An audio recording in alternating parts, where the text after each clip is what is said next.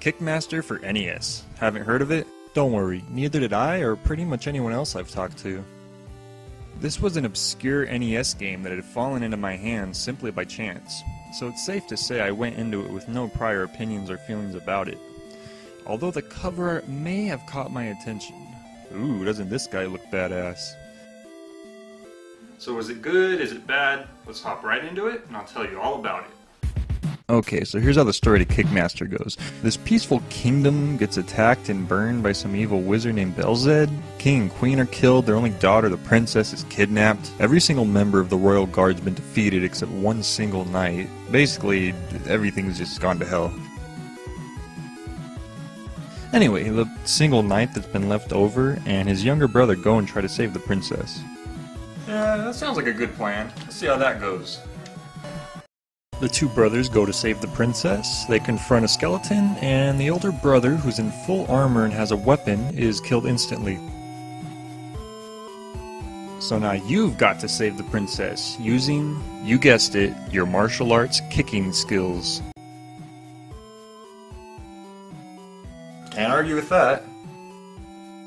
Well, your goal is to save the princess, and to do that, you're on a long journey to Belzed's castle. Each stage gets you closer and closer to the castle while dealing with Belzed's dark army of darkness. So right away, I do have to say, your character sort of jumps like he's on the moon. Usually that's a bad thing, but here I think it works okay, because if you get your attacks down right, then you can actually hit the enemies just fine. Another thing I should point out is when you defeat an enemy, a bunch of stuff flies out of them. What is that? This is actually one of the aspects that I think makes this game pretty unique.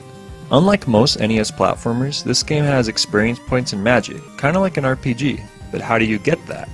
Well, when you defeat an enemy, multiple things fly out of them. Health, magic, and experience points. Now this is where I think it gets interesting.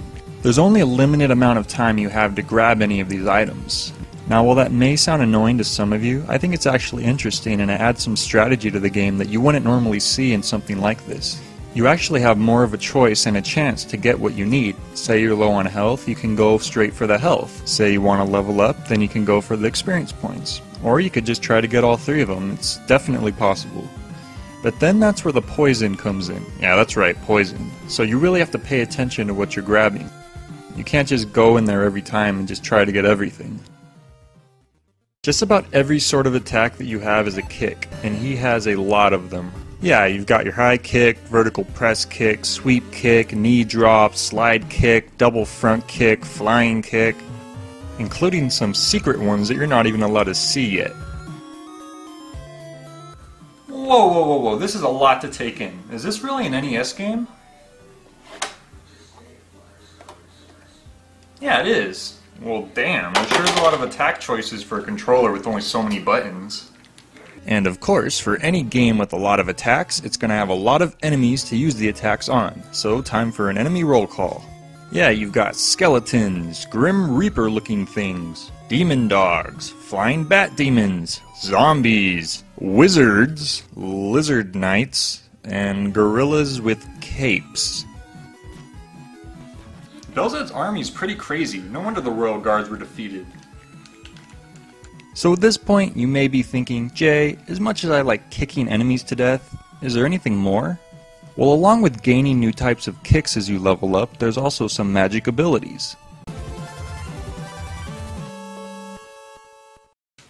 Oh, the magic attacks! I completely forgot about those. Okay, there's two different ways to obtain a magical ability in this game. The first is beating a boss. You beat a boss, you get a power. This is going to happen simply by you progressing through the game. There's no way to avoid it, you're going to get these powers. The second way, you gotta do a little more work. Hidden in almost every level is a second magic ability. It could either be somewhere where it's a little more dangerous and out of your reach, or it could be under a platform somewhere, or if it's like the first level, it could just be a treasure chest that's out in plain sight that you hopefully did not skip over. Most of the magic abilities are pretty helpful. Like for instance in the first level, if you happen to find the magic ability before reaching the boss, it's really helpful. See, you fight this flying witch enemy, and she just sort of stays up there in the air while these two other enemies are on the ground attacking you, and you gotta keep jumping and hitting her in the face. But if you found the ability, which sends these flying orbs up into the air, you could pretty much defeat her no problem.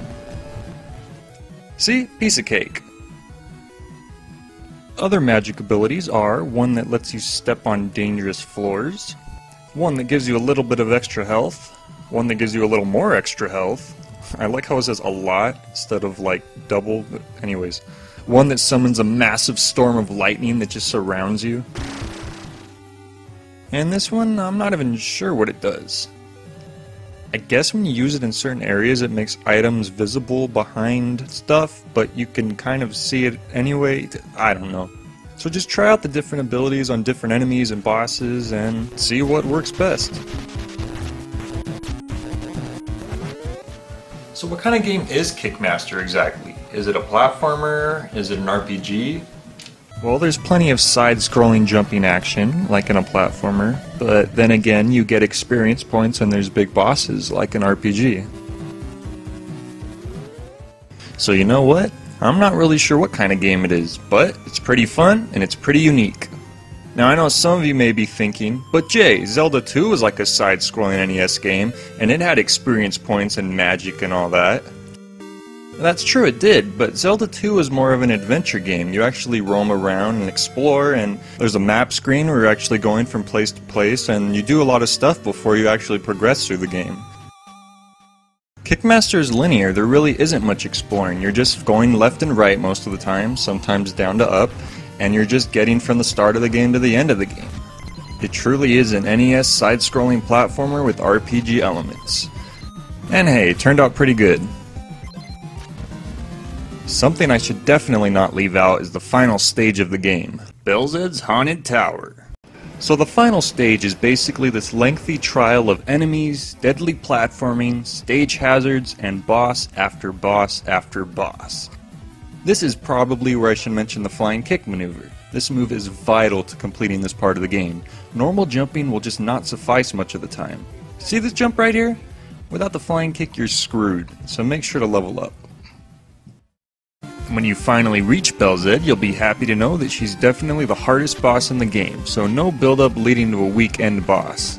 You first take out her knights, who by themselves are probably the hardest normal enemy in the game. Then you face Belzed herself. Okay, I know this is kinda late to mention this, but let me talk about the knee drop for a second. Out of all those different moves that you have to choose from, the knee drop is probably the best. Nearly any enemy coming from nearly any conceivable angle is just weak against it, it seems. Time it right and they're dead. You know what, let's just have a quick knee drop montage so you can really see what's up. Knee drop montage, knee drop montage, knee drop, knee drop, knee drop montage, knee drop montage, knee drop montage, knee drop, knee drop, knee drop montage, knee drop montage, yeah! Yeah, the knee drop. Well, now you know what move you're probably going to be using against Belzed. That doesn't mean she's going to go down without a fight.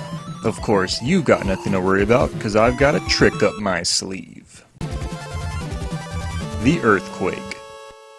This is the final magic ability that you get in the game, and it's definitely worth the wait. You use it on her, and she's stunned, completely open to attacks. Of course, even then, you can still manage to get yourself hurt if you're not too careful. So just use your life magic when you're low on health, and as long as you have enough magic points, you should be good.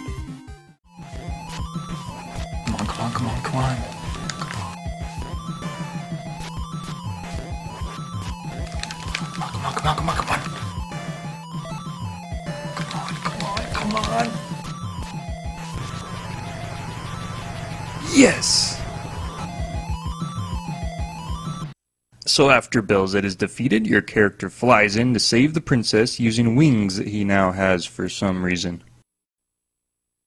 Anyway, they fly off into the sunset whilst Belzed's castle burns to the ground, a fitting ending.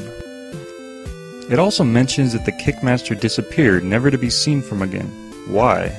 Hmm, probably because the entire kingdom was pretty much destroyed already. What's the princess even going back to? In fact, what did Belzed even want with the princess anyway? Ah well, I guess we can't look too deep into the story of an 8-bit game. And look, the credits actually break the fourth wall, calling you a fellow video gamer. Hmm, never would have guessed that the term gamer was already being used back then. It also says if you press start, you could play again at a harder difficulty. No thanks, Cal. So how can I sum up Kickmaster? It's fun, it's cheesy, and overall it's pretty unique. While the animation is limited and the controls aren't the tightest, the visuals and amount of content in the game are actually quite impressive. Now, it's interesting to note that by the time Kickmaster was released, the Super Nintendo had already been on store shelves for quite a while. It's no wonder nobody remembers this game. Everyone was busy moving on to Nintendo's next console. Well, that, my friends, was Kickmaster for NES. Not a very well known game, but very fun. I highly recommend you pick it up if you can. Well, hope you liked the review. There's more coming soon. I'm gonna go watch some Breaking Bad.